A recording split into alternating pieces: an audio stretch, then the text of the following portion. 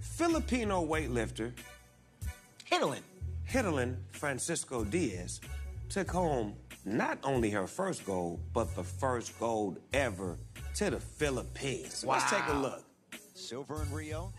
Will it be Whoa, gold? oh, Whoa, oh, whoa. Oh, Now, watch it. me, me and you know what that feels Yeah, like. Whoa, watch it. Oh, Strength. That's strength, oh, kid. man. That's strength. Oh my gosh. Oh, she Oh. got that. Oh my gosh. She got that. Oh my God. You know how hard that is, kid. You, No, no, and you both be in the gym. No, no, no, Snoop. Well, first of all, you can see by our body types, this is what we do. Hello. Okay? Uh, that is extremely impressive. Her clean and jerk was 493 pounds. Uh, Snoop, I don't So know. So she could have lifted me and you up at the same time. Well, eh, that means that she only did 175. Uh, we're talking about 493. Four, 493 pounds, man. All right.